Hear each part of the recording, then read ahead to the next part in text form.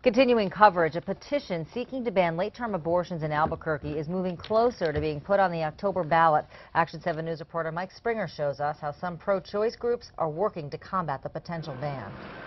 The American Civil Liberties Union and other pro-choice groups pushing back against a petition seeking to ban late-term abortions in Albuquerque.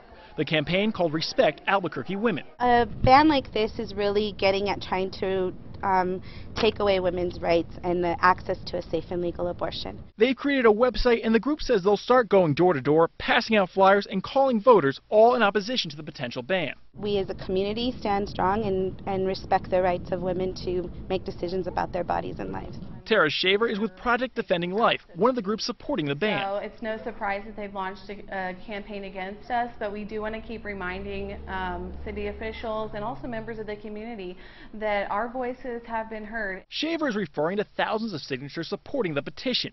If those signatures are verified, the City Council must decide whether to put the proposal on the October 8th ballot. But that may not be the last of its hurdles. Opponents of the late-term abortion ban say that if it does go through, they plan to challenge it in court. Supporters of the ban say they're ready for that challenge. This exact type of legislation has been passed in other states and it has been enacted. So we do believe that it is constitutional. In Albuquerque, Mike Springer, KOAT Action 7 News. The city clerk's office tells us about 2,300 signatures out of the 3,400 they've gone through have been validated.